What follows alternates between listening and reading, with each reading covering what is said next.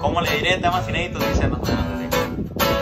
¿Cómo le diré que ya no la quiero?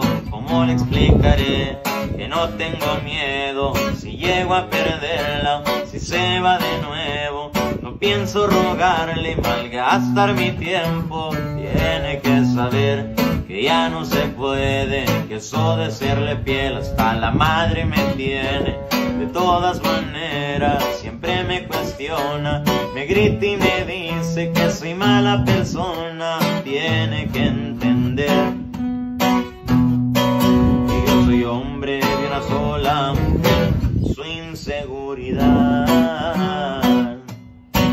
la tiene loca y de mí siempre piensa mal. ¿Cómo le diré que mis sentimientos ya no son los mismos? Porque siempre hay pleito, se vuelven